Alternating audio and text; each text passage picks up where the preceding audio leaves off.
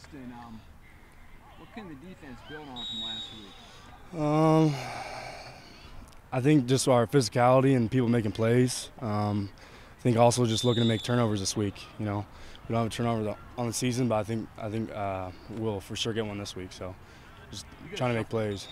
Sorry, you, you guys shuffled some things. Why do you think that led to how more, much more comfortable you guys looked out there? I mean, I just think.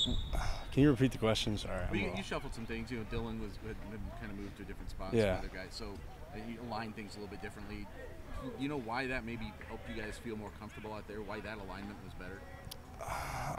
Not really. I mean, you just make plays, just play together. You know, I thought Dillon did a, a hell of a job at strong safety for his first week there, as, as well as Joe Jeff at free safety.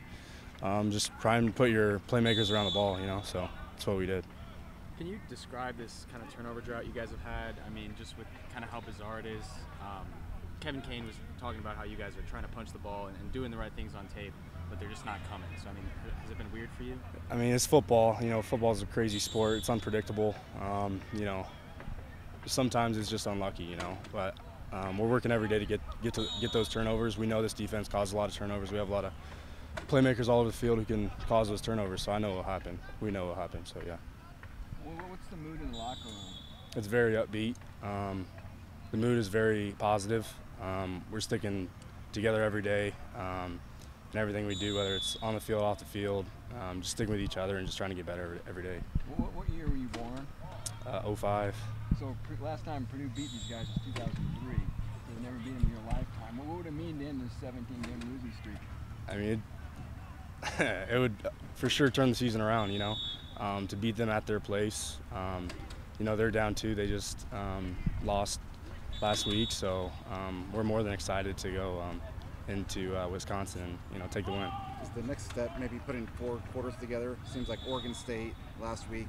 Yeah. Good for two and a half, three quarters, and then they get their points in the fourth. Yeah, absolutely. The emphasis this week is just to start strong in the second half. You know, come out with uh, more guns blazing and um, just you know stay upbeat and come out with fire. So absolutely, second half start much stronger than we have.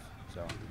Is that Wisconsin losing streak something you guys have talked about? That at some point, like you guys want to be the group that ends that?